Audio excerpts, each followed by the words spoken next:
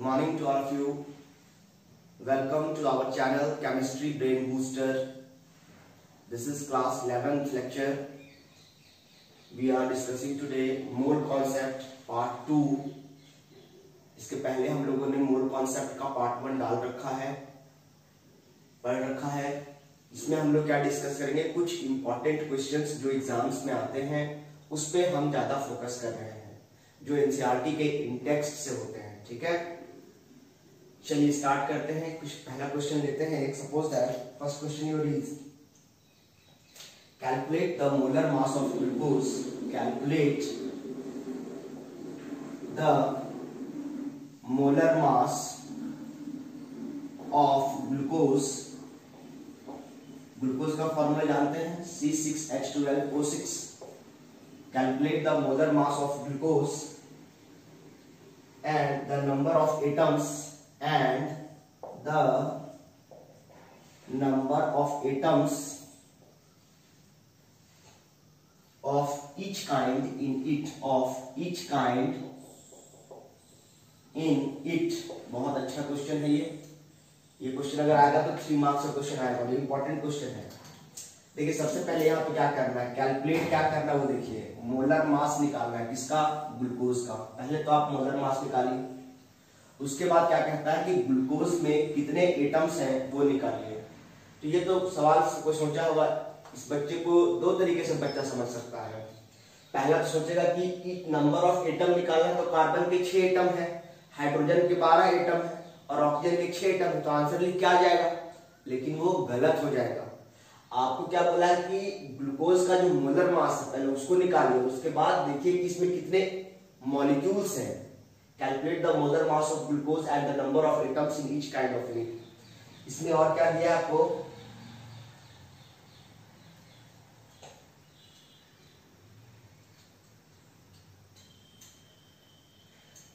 तो देखिए, सबसे पहले इसको डील कैसे करेंगे, ठीक है? इसको सॉल्व करने का तरीका क्या है? और इसमें कोई भी डाटा नहीं दिया है, बस मैं डाटा चेक कर रहा था, और कुछ दिया है क्या? नहीं, इतना ही डाटा मैं आपको निकालना है। तो कैसे इसको बनाएँगे? सबसे पहले क्या करेंगे? स्टेप वन स्टेप वन में हम क्या निकालेंगे भाई? मोलर मास कैसे निकालते हैं?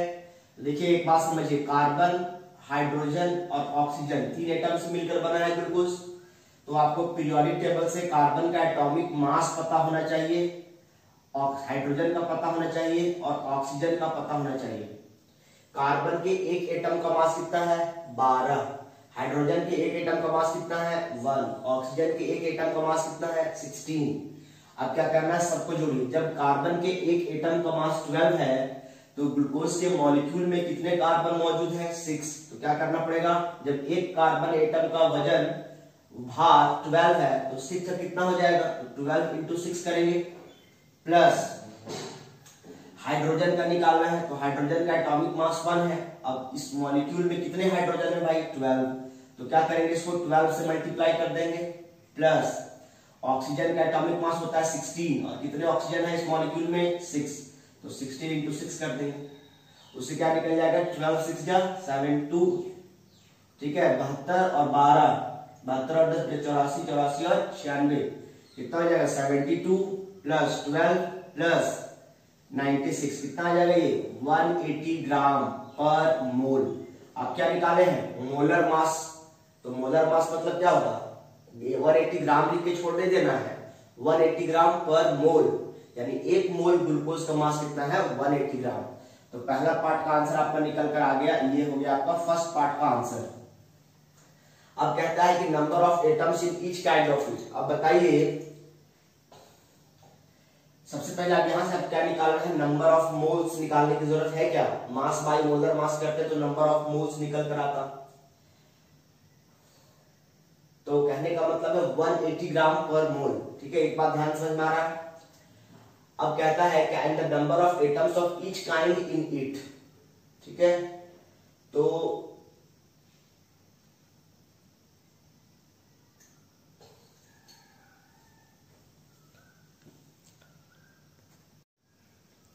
हाँ ठीक है, वीडियो सही चल रहा है, वीडियो में कोई दिक्कत नहीं है, क्वालिटी भी ठीक है, समझ में आपको आ रहा है। आप लोग अपने फ़ोन का थोड़ा ब्राइटनेस बढ़ाकर इस वीडियो को देखेंगे, है ना? चलिए, ये तो निकल के आ गया। सबसे पहले कैलकुलेट द मोलर मास भी निकाल लिया अब क्या है? नंबर ऑफ़ एटम्स निकालना है। देखिए नंबर ऑफ़ एटम्स कैसे निकालते हैं? जब नंबर ऑफ़ मोल्स बता रहे हैं तब तो मल्टीप्लाई कर देंगे। लेकिन यहाँ पर वैसा नहीं करना है। यहाँ पर चूँकि आपको ग्लूकोज का मास नहीं दिया हुआ है। ग्लूकोज का मास नहीं दिया है। अगर मास दिया होता तो मास बाई मोलर मास करके नंबर ऑफ़ मोल्स निकाल लेते। फिर नंबर ऑफ़ मॉलिक्यूल्स निकाल लेते अवोगाड्रो नंबर से मल्टीप्लाई करके। और जब नंबर ऑफ़ मॉलिक्यूल्स निकल जाता, उसके बाद सिक्स से मल्टीप्लाई कर देते तो कार्बन एटम निकल जाता। ट्वेल्व से मल्टीप्लाई कर देते तो हाइड्रोजन एटम निकल जाता। लेकिन चूँकि यहाँ पर मास नहीं दिया है तो यहाँ नंबर ऑफ़ मोल्स निकालने की ज़रूरत नहीं है। आपको यहाँ पे क्या करना है? नंबर ऑफ़ अगर कार्बन एटम निकालना है, क्या निकालना है? नंबर ऑफ़ कार्बन एटम्स निकालना है। तो बताइए कि एक मोल एक मोल एटम में, एक एक मोल में किसी भी चीज़ के एक मोल में कितने मॉलिक्यूल होते हैं भाई? एक मोल में कितने मॉलिक्यूल होते हैं? वन मोल ग्लूकोज अगर लेंगे, किनारे लिखते हैं। वन मोल ग्लूकोज अगर वन मोल का मतलब कितने मॉलिक्यूल होते हैं? Six point zero two two ten का पावर ट्वेंटी थ्री मॉलिक्यूल्स होते हैं कि नहीं होते हैं? अब यहाँ पे क्या है? ग्राम पर मोल तो एक मोल है, इसका मतलब एक मोल में इतने मॉलिक्यूल होंगे ग्लूकोज के? एक मोल इतने मॉलिक्यूल्स होंगे। जब एक मोल में इतने मॉलिक्यूल्स हैं, अब और बताइए कि ग्लूकोज के एक मॉलिक्यूल में कार्बन कितने एटम हैं? छह हैं। इसका मतलब एक मोल एक मोल अगर हम ले इसका तो एक मोल में इतने मॉलिक्यूल हो जाएँगे ग्लूकोज के। और हमको एटम निकालने बोला है तो क्या करेंगे? जब इसमें क्या करेंगे भाई? कार्बन एटम निकाल कार्बन एटम एक ग्लूकोज में कितने कार्बन एटम है? सिक्स पहले सिक्स लिखेंगे। और फिर क्या कर देंगे, इसको मल्टीप्लाई किससे कर देंगे? Six point zero two two into ten का पावर ट्वेंटी थ्री नहीं समझ में आया क्या किया हमने? जब हमने कहा कि एक ग्लूकोज के एक मॉलिक्यूल में छह कार्बन है तो ग्लूकोज के इतने सारे मॉलिक्यूल्स में कितने कार्बन होंगे भाई? एक रुपया में पाँच केला तो पाँच रुपया में कितना केला जी? तो पाँच को पाँच से गुना करोगे ना? तो भाई तो किया है हमने। सिक्स को मल्टीप्लाई कर दिया six point zero two two से। Six point zero two two को आप सिक्स लेकर सॉल्व कर सकते हैं। सिक्स सिक्स से कितना हो जाएगा? थर्टी सिक्स इंटू टेन का पावर ट्वेंटी थ्री एटम्स ये हो गया आपका आंसर किसका भाई? नंबर ऑफ़ कार्बन एटम निकल गया। उसी प्रकार आपको क्या निकालने बोलेगा नंबर ऑफ़ हाइड्रोजन एटम्स निकालने बोलेगा तो जरा बताइए कि ग्लूकोज के एक मॉलिक्यूल में कितने हाइड्रोजन है? ट्वेल्व तो क्या करेंगे आप? ट्वेल्व इंटू कितने मॉलिक्यूल होते हैं एक मोल में? Six point zero two two ten का power twenty three six point zero two two को क्या लेके सॉल्व करना है? सिक्स लेके सॉल्व किए। Twelve six seventy two. Into ten का power twenty three hydrogen atoms इतना निकल के आ जाएगा जी। उसके बाद क्या निकालना है आपको जी? ऑक्सीजन का निकालना है। तो नंबर ऑफ़ ऑक्सीजन एटम लिखेंगे। अब ऑक्सीजन एटम्स निकालने के लिए क्या करना पड़ेगा भाई? अब बताइए ग्लूकोज के एक मॉलिक्यूल में कितना ऑक्सीजन है जी? सिक्स तो सिक्स को मल्टीप्लाई कर देंगे जी। Six point zero two two ten का पावर ट्वेंटी थ्री सिक्स जी। थर्टी सिक्स इंटू टेन का power twenty three atoms of oxygen ये हो गया आपका आंसर ये क्वेश्चन आपके थ्री मार्क्स में है, ठीक है? तो ध्यान देने वाली बात है, सबसे पहले मोलर मास निकालने बोला था तो इस तरह से जोड़ करके मोलर मास निकालेंगे और नंबर ऑफ़ एटम्स निकालने बोलेगा, अगर मास नहीं दिया रहेगा तो फिर इस तरह से निकालेंगे। इसके पहले क्वेश्चन हमने करवाया है मास वाला पार्ट वन में, याद ध्यान रहे आपको। मोल कॉन्सेप्ट पार्ट वन जाएँगे केमिस्ट्री ब्रेन बूस्टर में। तो वहाँ पर आपको मिलेगा। उसमें आपको मास दिया हुआ था। वो क्वेश्चन अलग था। ये थोड़ा क्वेश्चन हमने ट्विस्ट कर दिया। और कन्फर्म है एग्ज़ाम में ये क्वेश्चन आएगा। अभी बताने के बाद भी अगर एग्ज़ाम में ये क्वेश्चन आएगा तो आप फंसिएगा। इसमें निश्चिंत रहिएगा एकदम कन्फर्म फंसेंगे आप। अगर आप रटेंगे तो फंसेंगे। समझेंगे नहीं तो फिर गड़बड़ा जाइएगा। तो वो दोनों क्वेश्चन कवर कीजिए। एक मास वाला भी और एक बिना मास वाला भी। ठीक है? इस तरह से इसको निकालना है। इसको मैं तो किनारे हो जाता हूँ उसके बाद दूसरा क्वेश्चन डिस्कस करेंगे। बेटा इसको इजाज़त है, चलिए।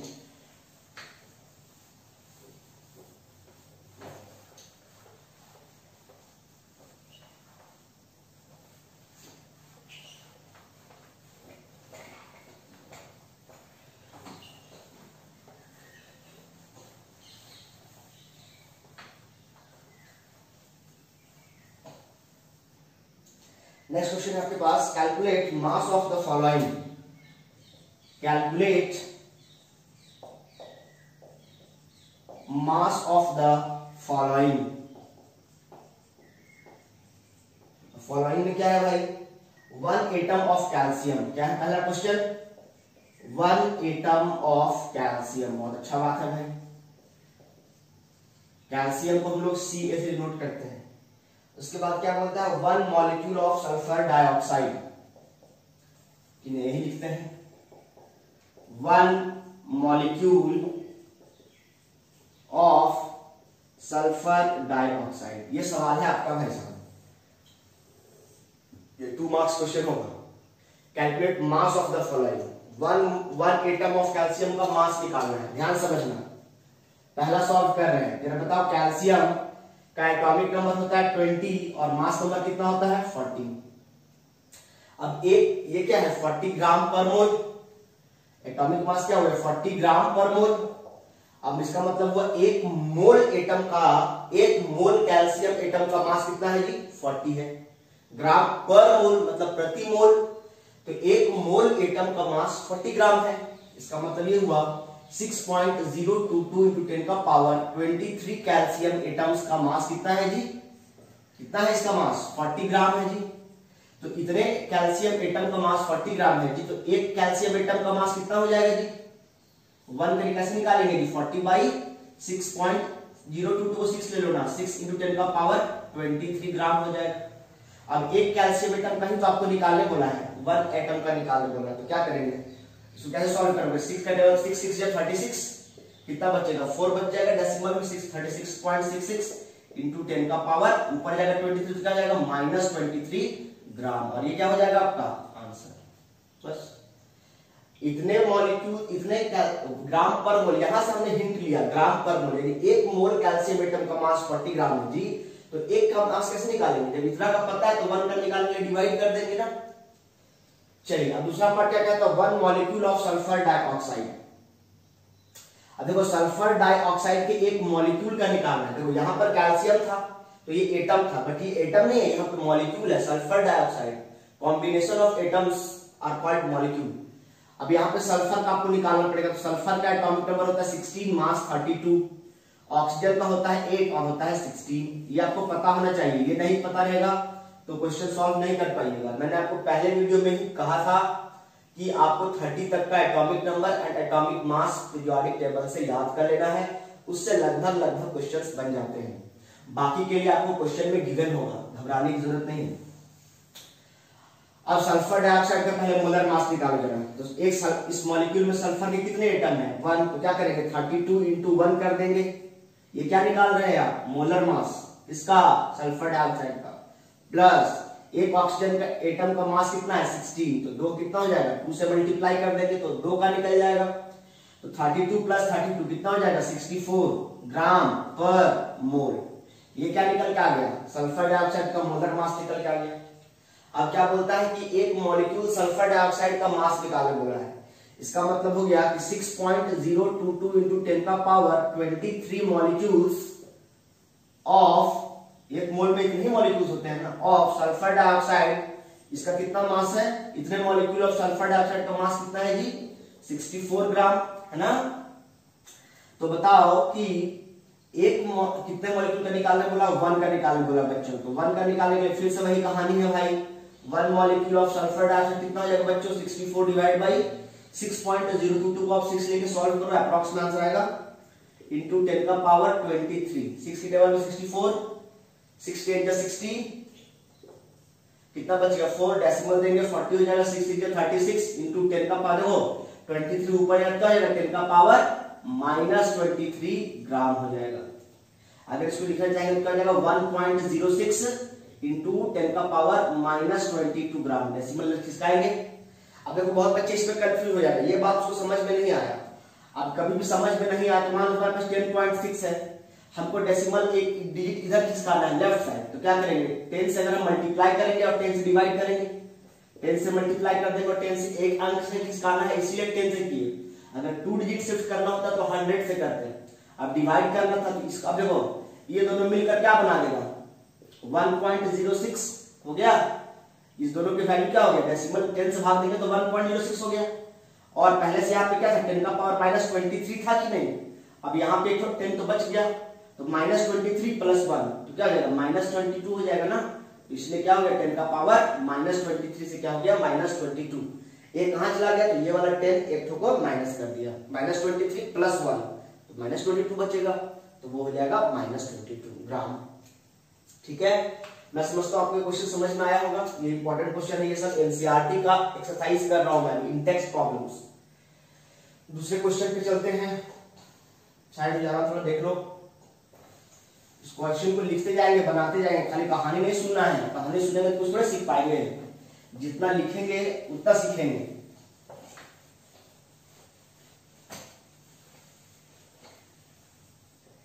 दूसरा क्वेश्चन लेते हैं। Calculate number of atoms calculate number of atoms calculate number of atoms in each of the following in each of the following. Calculate number of atoms in each of the following. पहला question आपके पास 0.5 mole atoms of nitrogen 0.5 mole atoms of nitrogen देखिए, कभी भी ध्यान रखिएगा बच्चों nitrogen बोलेगा इसका मतलब एन नहीं समझना है। नाइट्रोजन कहीं बोलेगा तो एन टू समझिएगा क्या समझिएगा एन टू नाइट्रोजन क्योंकि गैस होता है तो वो एन के फॉर्म में नहीं लेकर सॉल्व कीजिएगा। हमेशा गलत आंसर आएगा। एन टू लेकर सॉल्व करेंगे, ठीक है? नाइट्रोजन उसके बाद क्या कहता है? Zero point two molecules of zero point two ये मोल था, और यहाँ पे क्वेश्चन क्या कर दिया है? Zero point two mole molecules of nitrogen यहाँ एटम था, यहाँ पे मॉलिक्यूल्स हो गया है। मॉलिक्यूल्स ऑफ़ नाइट्रोजन उसके बाद क्या बोला है? C 3.2 gram of sulphur 3.2 gram of sulphur ठीक है? ये तीन क्वेश्चन पहले करते हैं, फिर आगे डिस्कस करेंगे। क्या निकालने बोला है? नंबर ऑफ़ एटम्स निकालने बोला है। क्या निकालने बोला है? Number of atoms 0.5 mole atom of night 0.5 mole atom of nitrogen देखिए। किसी भी चीज़ का वन मोल अगर नाइट्रोजन रहता तो वन मोल नाइट्रोजन में नाइट्रोजन कितने एटम होते जी? Six point zero two two ten का पावर ट्वेंटी थ्री होता है कि नहीं होता? इतने एटम्स होते। एक मोल नाइट्रोजन में इतने एटम होते हैं। अभी एटम बोला है ना, इसलिए हम सिर्फ़ नाइट्रोजन ले रहे हैं सिक्स पॉइंट एन टू नहीं ले रहे हैं यहाँ पर। अगर यहाँ मॉलिक्यूल बोलता तब एन टू लेते हैं। बात समझ में आ रहा है? तो वन मोल नाइट्रोजन बोल दिया। ज़ीरो पॉइंट फाइव मोल तो एक मोल में इतना ज़ीरो पॉइंट फाइव मोल में कितना हो जाएगा?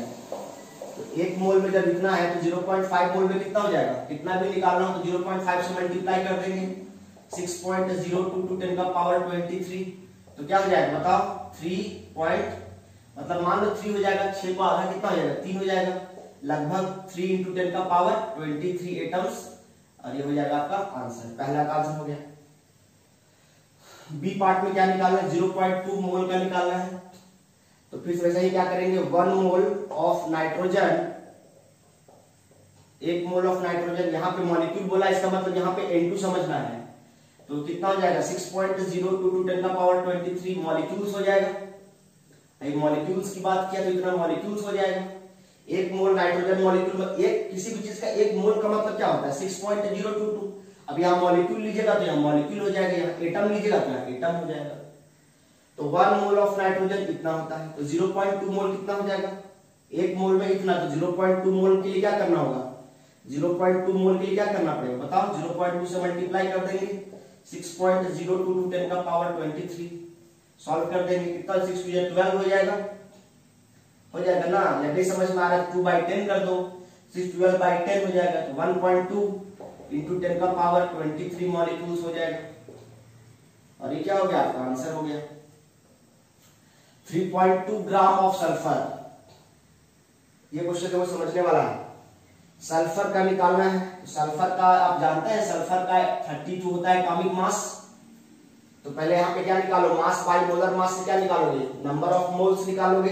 तीसरा स्टेप में क्या करना है? तीसरा क्वेश्चन में यहाँ पे मोल नहीं दिया हुआ है, यहाँ पे मास दिया है। तो पहले मास से क्या निकाल लीजिए? मोल निकाल लीजिए। तो मास से मोल कैसे निकालते हैं? मास बाई मोलर मास या मास बाई एटॉमिक मास तो यहाँ पर हम क्या करेंगे? पहले नंबर ऑफ़ मोल्स निकाल लेंगे। तो मास कितना? सल्फ़र का। 3.2 ग्राम इसका मास हो गया। और सल्फ़र का मोलर मास कितना? एटॉमिक मास कितना? 32 यही ना हो गया 32 ग्राम पर मोल ग्राम से ग्राम कट जाएगा तो क्या जाएगा? डेसिमल हटाएँगे टेन आ जाएगा तो क्या जाएगा? वन बाई टेन यानी ज़ीरो पॉइंट वन मोल अब इसका मोल निकल के आ गया, जो ग्राम दिया था उसका मोल निकाल लिए। अब बताइए, यानी zero point one mole sulphur में कितना आइटम होगा, सो निकालने बोला है। तो फिर से वैसा ही करेंगे। कि हम जानते हैं कि one mole one mole sulphur में कितने एटम होंगे सल्फ़र के भी six point zero two two ten का पावर ट्वेंटी थ्री एटम्स होंगे कि नहीं होंगे? एक मोल सल्फ़र में कितने एटम्स होंगे। तो ज़ीरो पॉइंट वन मोल में कितना हो जाएँगे जी? Zero point one mole sulphur में कितना हो जाएँगे जी? तो zero point one into six point zero two two ten का पावर ट्वेंटी थ्री। क्या हो जाएगा? बताओ जरा। इसको मल्टीप्लाई कर दोगे तो क्या हो जाएगा? Zero point six into ten का पावर ट्वेंटी थ्री एटम्स इतने एटम्स हो जाएँगे? बस। ठीक है? यहाँ ग्राम दिया था तो इसको पहले मोल में कन्वर्ट कर लिए तो मास बाई मोलर मास या मास बाई एटॉमिक मास अगर मॉलिक्यूल दिया तो मोलर मास एटम दिया तो एटॉमिक मास देके इसको सॉल्व करेंगे। यहाँ से नंबर ऑफ़ मोल्स निकल जाएगा, फिर उससे वहाँ से एटम निकल जाएगा। ये क्वेश्चन हो गया। इसी में दूसरा क्वेश्चन क्या है भाई?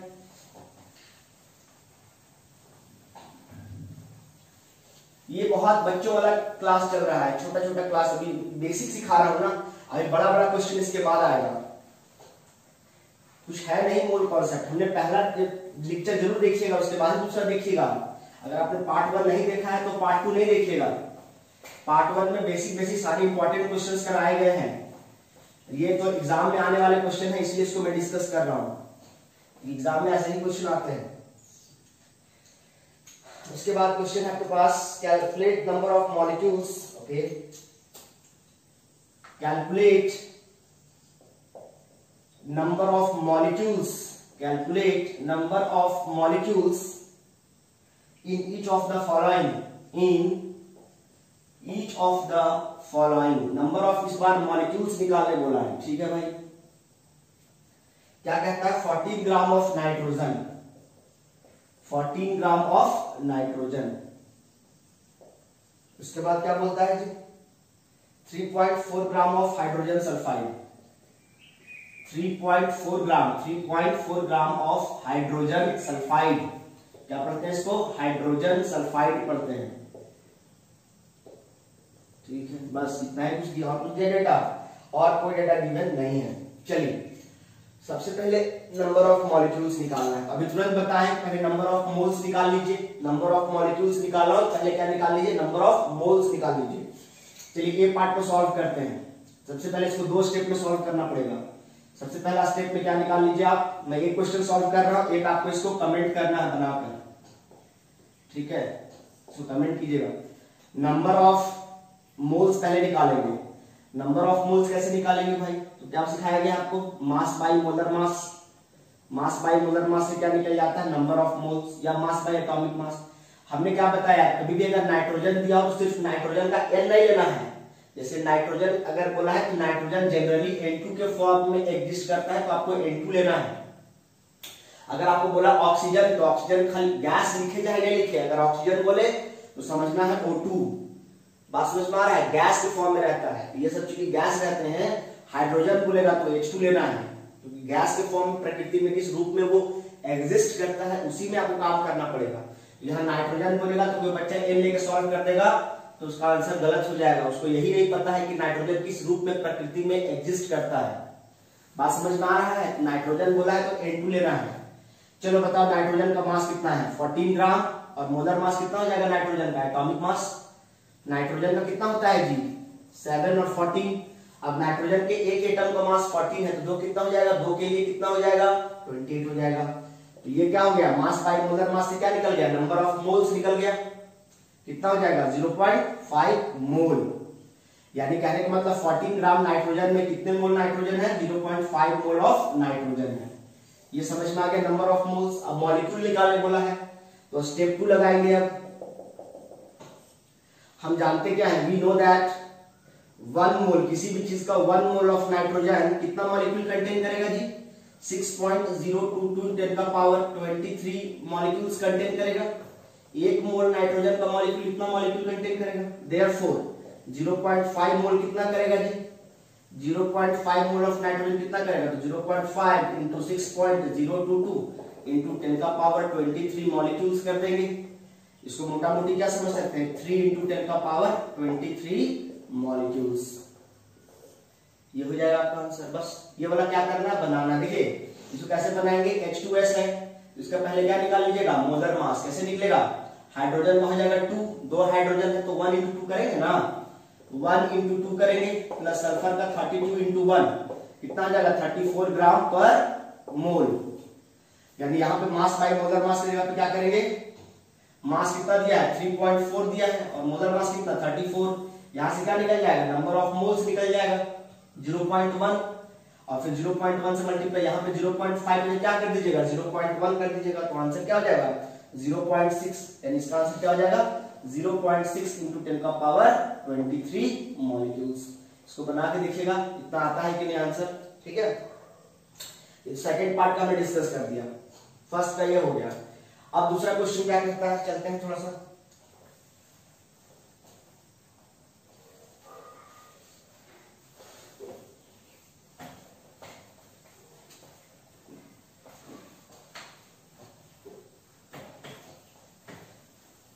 चले भाई इजाज़त है, हवा लग रहा है। चलो ठीक है। इसके बाद नेक्स्ट क्वेश्चन है आपके पास हाउ मेनी बहुत अच्छा क्वेश्चन है। हाउ मेनी ऐसा ही क्वेश्चन निकाल, पूछता है how many atoms of oxygen how many atoms of oxygen are present in are present in जरा बना के दिखाओ क्वेश्चन को how many atoms of oxygen are present in 300 gram of CaCO3 question है। वीडियो को पॉज कीजिए और बना के दिखाइए कैसे बनेगा। How many atoms of oxygen निकालने बोला है? क्या निकालने बोला है? एटम्स ऑफ़ ऑक्सीजन कैसे निकालेंगे, जरा बताइए। वीडियो को पॉज कीजिए और बनाइए। बनाओ मेरे प्यारे बच्चों, बनाओ भाई साहब। चलिए मैं बनाता हूँ आप। ठीक है, देखो। सबसे पहले स्टेप क्या करना है? नंबर ऑफ़ एटम्स निकालना है नंबर ऑफ़ मॉलिक्यूल्स को पता कर ले भाई। अरे नंबर ऑफ़ मॉलिक्यूल्स निकालें। अब नंबर ऑफ़ मॉलिक्यूल्स पता होने के पहले नंबर ऑफ़ मोल्स निकालेंगे। यानी ये तीन स्टेप में होगा भाई। पहला स्टेप में क्या होगा? नंबर ऑफ़ मोल्स निकालेंगे। क्या निकालेंगे? नंबर ऑफ़ मोल्स और नंबर ऑफ़ मोल्स कैसे निकालते हैं जी? मास बाई मोलर मास ऐसे निकालते हैं जी मास बाई मोलर मास या मॉलिकुलर मास चलिए मास कितना दिया हुआ है जी? 300 ग्राम। तो 300 पुट कर देंगे यहाँ पर अब बताइए कैल्शियम कार्बोनेट का मोलर मास कैसे निकालेंगे? जबकि कैसे निकालेंगे। कैल्शियम का होता है 40 कार्बन का होता है 12 ऑक्सीजन का होता है 16 तो कितना हो जाएगा? 40 इंटू वन क्योंकि कैल्शियम एक ही है। कार्बन का 12 one twelve into one plus sixteen into three ये समझ में आया? सिक्सटीन इंटू थ्री क्यों किए? क्योंकि ऑक्सीजन का होता है एक ऑक्सीजन के एटम का मास है सिक्सटीन तो तीन का कितना हो जाएगा? सिक्सटीन थ्री फोर्टी एट तो क्या हो जाएगा? चालीस प्लस बारह प्लस अड़तालीस। कितना हो जाएगा? अड़तालीस और दो, पचास और दस, साठ और चालीस। हंड्रेड यानी क्या निकल के आया? हंड्रेड ग्राम पर मोल ये क्या निकल के आया? कैल्शियम कार्बोनेट का मोलर मास यहाँ पुट कर देंगे हंड्रेड ग्राम पर मोल ग्राम से gram cancel zero zero cancel zero zero cancel क्या हो गया? थ्री मोल, क्या हो गया? Three mole. ये थ्री मोल क्या निकल के आया? नंबर ऑफ़ मोल्स निकल के आया। इसको बिटा रहा हूँ मैं। ठीक है? ये तो नंबर ऑफ़ मोल्स निकल गया। अब क्या निकालने बोला? आपको एटम निकालने बोला है तो नंबर ऑफ़ मॉलिक्यूल्स निकालना पड़ेगा पहले। क्या निकालना पड़ेगा? नंबर ये तो एक लाइन में ये क्वेश्चन बन जाएगा, लेकिन आपको एग्ज़ाम में कैसे बनाना है, मैं वो सॉल्व कर रहा हूँ step by step number of molecules अगर आपको निकालना है तो नंबर ऑफ़ मॉलिक्यूल्स कैसे निकालेंगे? तो हम जानते हैं कि एक मोल किसी भी चीज़ का, एक मोल एक मोल कैल्शियम कार्बोनेट में कितने मॉलिक्यूल हैं जी? 6.022 into 10 का पावर 23 मॉलिक्यूल्स है। अवोगाड्रोस नंबर के इक्विवेलेंट एक मोल में हमेशा इतने ही मॉलिक्यूल्स होते हैं। तो तीन मोल में कितने हो जाएँगे? देयरफॉर थ्री मोल्स में कितने हो जाएँगे? तीन मोल कैल्शियम कार्बोनेट में कितने मॉलिक्यूल हो जाएँगे? Three into six point zero two two ten का पावर ट्वेंटी थ्री मॉलिक्यूल्स यानी सिक्स थ्री जा एटीन कितना हो जाएगा भाई? एटीन इंटू टेन का पावर ट्वेंटी थ्री मॉलिक्यूल्स और ये क्या हो जाएगा आपका? आंसर हो जाएगा। तो ये तो आंसर नहीं हुआ मॉलिक्यूल्स निकल के आया। अब क्या निकालने बोला एटम तीसरा स्टेप सोचने वाला बात है। बहुत अच्छा क्वेश्चन ध्यान समझिएगा। एक मॉलिक्यूल ऑफ़ कैल्शियम क्या निकालने बोला है? एटम ऑफ़ ऑक्सीजन निकालने बोला है। तो जरा बताइए कि एक मॉलिक्यूल कैल्शियम कार्बोनेट का कैल्शियम कार्बोनेट का एक मॉलिक्यूल कितना ऑक्सीजन कंटेन करता है? तीन ऑक्सीजन कंटेन करता है। तो इतना मॉलिक्यूल कितना ऑक्सीजन कंटेन करेगा? जब एक मॉलिक्यूल तीन कंटेन करता है, लिखेंगे since one molecule of CaCO3 contains contain three contains contain three oxygen atom कितने एटम थ्री ऑक्सीजन एटम यही हो गया। शॉर्ट में लिखा है मैंने three oxygen atom one molecule of calcium carbonate contain three oxygen atom therefore जब एक मॉलिक्यूल इतना करता है तो 18 इंटू टेन का पावर 23 मॉलिक्यूल्स कितना कंटेन करेगा जी? तो इसको मल्टीप्लाई कर देंगे. Three into eighteen into ten का पावर 23 कर देंगे. चौवन थर्टी फोर इंटू टेन का power twenty three oxygen atoms और ये क्या हो जाएगा आपका जी? आंसर समझ में आया कैसे बनाना है सो इसी को अगर शॉर्ट बनाते कैसे बनाते हैं? एक लाइन बनाते हैं। सबसे पहले इसको एक लाइन में बनाना तो कैसे बनाते हैं? मास बाई मोलर मास लेते हैं 300 बाई 100 यहाँ से क्या निकल गया नंबर ऑफ़ मोल्स इसको क्या करेंगे? अवोगाड्रो नंबर से मल्टीप्लाई कर देंगे। इसे क्या निकल गया? नंबर ऑफ़ मॉलिक्यूल्स निकल गया। नंबर ऑफ़ मोल्स ये निकल गया। इसको 6.022 से मल्टीप्लाई कर दिया तो नंबर ऑफ़ मॉलिक्यूल्स निकल गया। अब नंबर ऑफ़ एटम्स निकालना है तो एक मॉलिक्यूल में तीन एटम है। एक मॉलिक्यूल में तीन एटम है तो इतने मॉलिक्यूल में कितने एटम हो जाएँगे? तो तीन से मल्टीप्लाई कर देते डायरेक्ट एक लाइन में आपका आंसर बने। कुछ नहीं करना था। यानी अगर माइंड कैलकुलेशन करना हो तो इतना ही में कैलकुलेशन करेंगे। और अगर बोर्ड में अगर स्कूल में एग्ज़ाम में कैलकुलेशन करना हो तो हमको ये सब करके लिख के दिखाना पड़ेगा। लेकिन देखो, एक लाइन में बन गया। Mass by molar mass number of moles निकल जाएगा। उसको एवोगाड्रो नंबर से मल्टीप्लाई करेंगे तो नंबर ऑफ़ मोल्स को जब आप एवोगाड्रो नंबर से मल्टीप्लाई करेंगे तो नंबर ऑफ़ मॉलिक्यूल्स निकल जाएगा। अब हमने देखा कि इतने एक मॉलिक्यूल में तीन ऑक्सीजन है। अगर मान लिया आपको पूछता कार्बन के कितने एटम है तो यहाँ वन से मल्टीप्लाई करते हैं। बोलता कैल्शियम के कितने एटम है तो वन से मल्टीप्लाई करते हैं। ऑक्सीजन कितने एटम है तो कैल्शियम कार्बोनेट के एक मॉलिक्यूल में तीन ऑक्सीजन एटम है तो तीन से मल्टीप्लाई कर दी। तो अगर एक लाइन में बनाना हो तो ऐसे और मार्क्स देख के ऐसे बनाएँगे। ठीक है?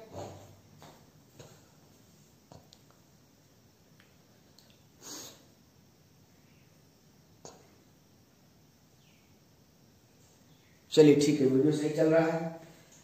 अब आगे क्वेश्चन की ओर मूव करते हैं।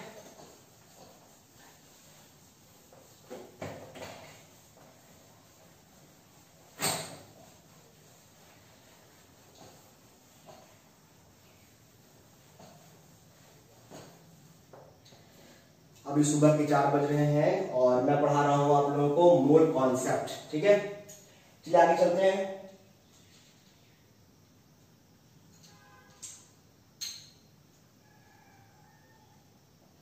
how many of water एक और क्वेश्चन लेता हूँ मैं आपको। Find out the volume find the volume find the volume ये अच्छे क्वेश्चन है, इसीलिए ले रहा हूँ। Find the volume of the following find the volume of the following at STP STP में तो समझते हैं एसटीपी का मतलब होता है स्टैंडर्ड टेम्परेचर एंड प्रेशर इसका मतलब क्या होता है? बता चुका मैं आपको। स्टैंडर्ड टेम्परेचर एंड प्रेशर ठीक है? में जब भी एसटीपी बोलेगा, इसका मतलब ये गैस के बारे में बात कर रहा है। और गैस के लिए, जैसे हम लोग सॉलिड और लिक्विड के लिए क्या करते हैं? One mole is equal to इतना मॉलिक्यूल कर देते हैं ना। लेकिन जब गैस की बारी आती है तो गैस में ये नहीं कीजिएगा। गैस में क्या कीजिएगा जो वन मोल कोई भी गैस हो तो 22.4 लीटर लीजिएगा एसटीपी पे। ठीक है? गैस के लिए क्या होता है? 22.4 लीटर होता है। तो जब भी कोई ये आपको पता होना चाहिए। वन मोल जब भी है तो 22.4 लीटर लेना है यहाँ पर। यहाँ पर मॉलिक्यूल्स नहीं लेना क्योंकि एसटीपी बोला है। मतलब गैस के बारे में बात कर रहे हैं। ये आपका हिंट था। क्वेश्चन बोलता है आपको 14 gram of nitrogen 14 gram of nitrogen. देखो बाबू, नाइट्रोजन बोला है। तो नाइट्रोजन में क्या समझोगे तुम? N2 समझोगे। उसके बाद होता है 6.022 टू टेन का power 23 molecules of ammonia 6.022 into 10 का power 23 molecules of ammonia ammonia is a gas ammonia मतलब NH3 उसके बाद क्या बोलता है आपको?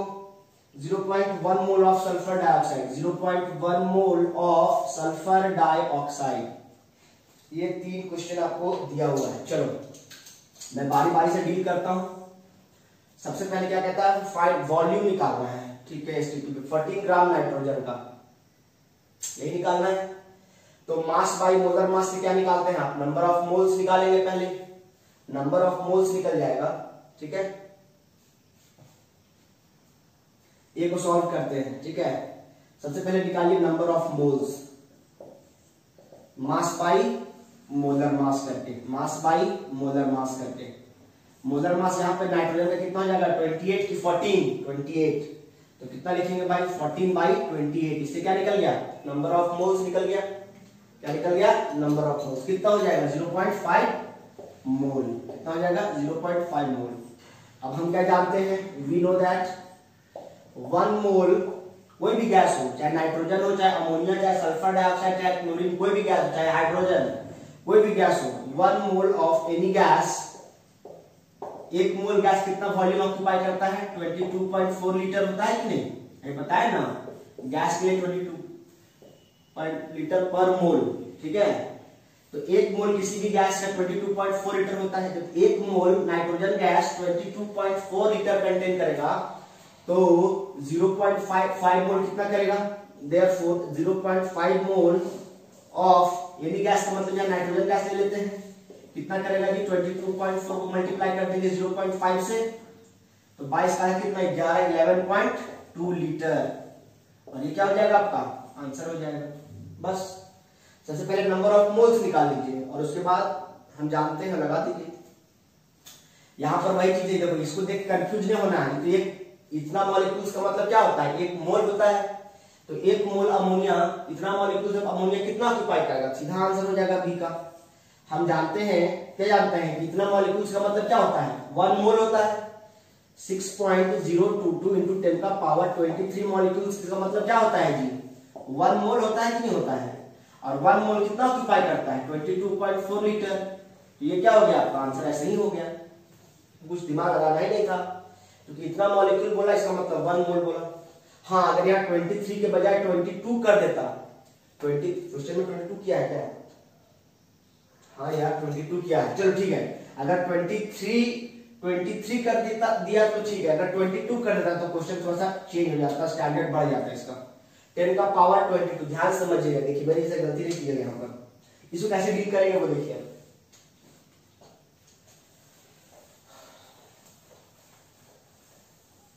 ओके बहुत अच्छी बात है, बहुत अच्छी बात है। बहुत बढ़िया क्वेश्चन घुमा दिया। देखो कैसे इसको डील करेंगे। आप जानते हैं, इसमें भी कोई खास चेंज नहीं करना है। Six point zero two two ten का पावर ये हम जानते हैं बी पार्ट सॉल्व कर रहा हूँ। हम जानते हैं इतना मॉलिक्यूल्स कितना वॉल्यूम ऑक्यूपाई करेगा। 22.4 लीटर करेगा ना। इतना मॉलिक्यूल्स 22.4 लीटर ऑक्यूपाई करेगा, क्योंकि ये तो एक मोल है। एक मोल है ना। तो एक मोल तो इतना लीटर ऑक्यूपाई करता है एसटीपी पे। तो एक मॉलिक्यूल कितना करेगा?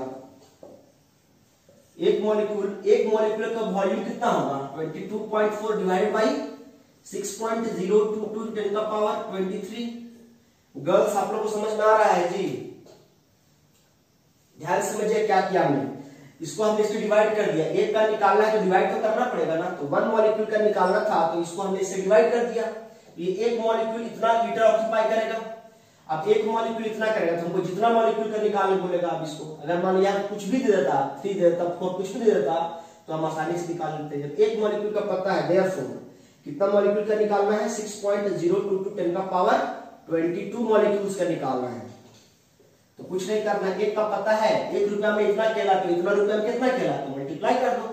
तो twenty two point four divide by six point zero two two ten का पावर ट्वेंटी थ्री तो एक का हो गया।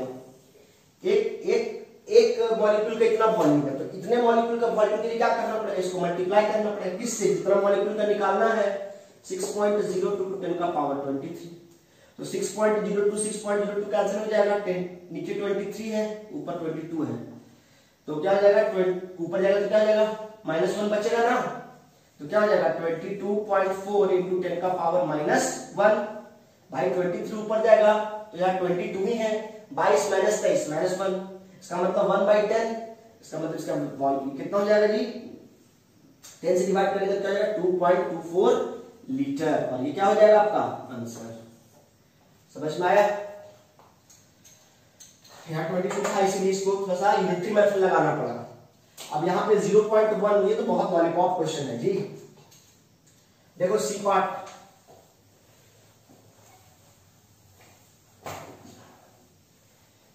इसके पहले पार्ट वन में अच्छे क्वेश्चंस कराए गए हैं, उसको आप लोग काइंडली कवर करेंगे। देखिए यहाँ पे 0.1 मोल ऑफ़ सल्फ़र डाइऑक्साइड इसमें सिंपल है। हम क्या जानते हैं? वन मोल किसी भी गैस का one mole of sulphur dioxide का वॉल्यूम कितना होता है? वन मोल लेकिन ये सब एग्ज़ाम में आएगा क्वेश्चन यही सब। वन मोल सल्फ़र डाइऑक्साइड का वॉल्यूम कितना होता है? 22.4 लीटर होता है। तो 0.1 मोल का कितना हो जाएगा? बताओ। 0.1 से मल्टीप्लाई कर देंगे। 0.1 इनटू 22.4 तो क्या हो जाएगा? फिर से वही हो जाएगा? 2.24 हो जाएगा कि हो जाएगा? लीटर और ये क्या हो जाएगा आपका? आंसर हो जाएगा। ठीक है? और कुछ क्वेश्चन आपको कराने लायक है जो एग्ज़ाम में आने लायक है? हाँ, एक और क्वेश्चन लिखते हैं। लास्ट क्वेश्चन होगा ये।